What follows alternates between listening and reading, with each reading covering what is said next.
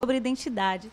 E eu queria muito que você conseguisse se autodefinir, né? Se hoje essa pergunta dirigida a você aqui, que o Brasil e o mundo vai acessar durante muito tempo aí, é, depois de um grande caminho, estou até me arrepiando que eu conheço a sua história.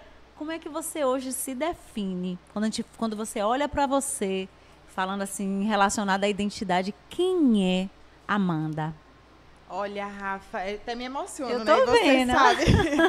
Mas hoje em dia, acho que a palavra que mais se encaixa comigo é guerreira mesmo, porque foram muitas situações até chegar até aqui, até ser a Amanda que eu sou hoje, é, conseguir conversar, conseguir interagir, conseguir ser eu e apenas ser eu, sabe? Dessa forma simples, é, conseguir ajudar outras pessoas, né? Que eu acho que é a maior.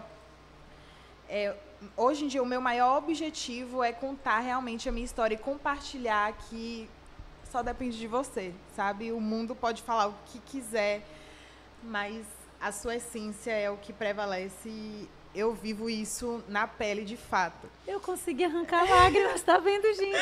Nem começou o podcast ainda, já tô Ah, aqui sentar emocionada. aqui é assim, viu? Sentar nessa mesa é profundo, viu? Gente, sabe por quê? Que eu tenho uma característica, isso é coisa, uma, uma coisa muito da minha identidade. Eu não gosto de coisa, eu não gosto de superficialidade, então eu não Verdade. gosto de coisa rasa. Você sabe é disso. isso mesmo. Meu negócio é profundidade, então a gente tem que ir hum, navegar em águas mais profundas. Então, falando de identidade, você consegue se re- resumir desta forma. É, eu, eu me vejo como uma super guerreira mesmo. Eu tracei a minha história do jeito que eu queria que ela fosse escrita, sabe?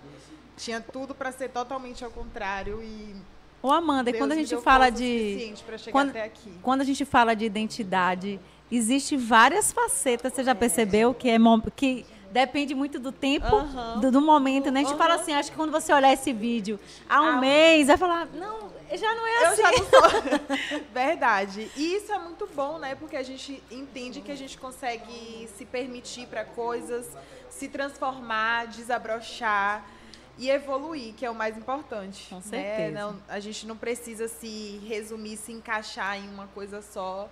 A vida é uma constante evolução. E você entender que você pode ser uma constante evolução também é muito importante.